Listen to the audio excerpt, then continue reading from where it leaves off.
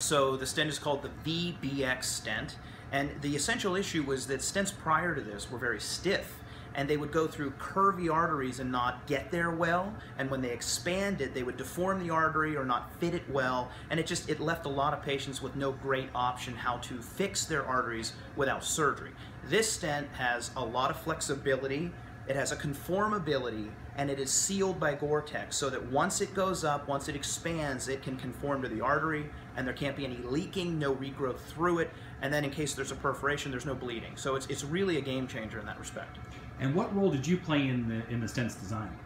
So um, I've worked with this company now for about six or seven years, and um, not infrequently we collaborate in Flagstaff, Arizona, and we sit down and go through what are the unmet needs. I mean, what do we need to try and address in the treatment strategy? Um, it was my concept that we clearly had to do something better to make a stent that conformed to the vessel, that was lined with the Gore-Tex like we've used before, but also did just as good a job of holding it open, and, and I think this meets that demand.